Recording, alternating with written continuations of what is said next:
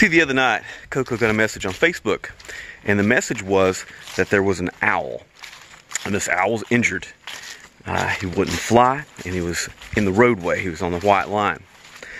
So this owl was surely going to die.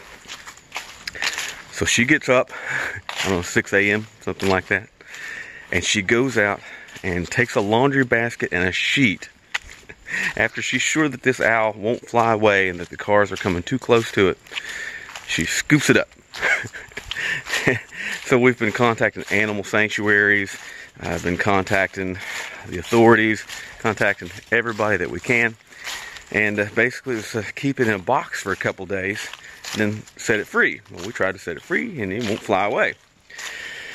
So we've got him in the barn here with the doors open so he can fly away whenever he wants to and build him a little perch. So now we're going to feed him. Our tomcat Alf has left us a gift. What is that, Cruz? And it's perfect timing.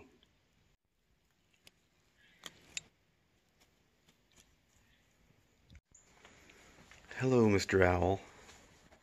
What's up, buddy? Here you go.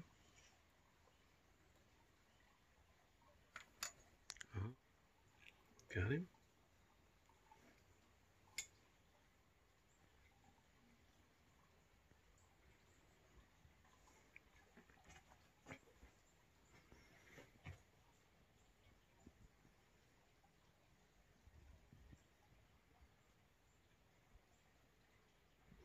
He's using the bathroom.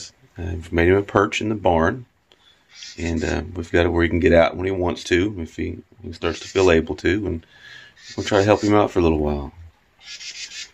Say hello, Mr. Owl.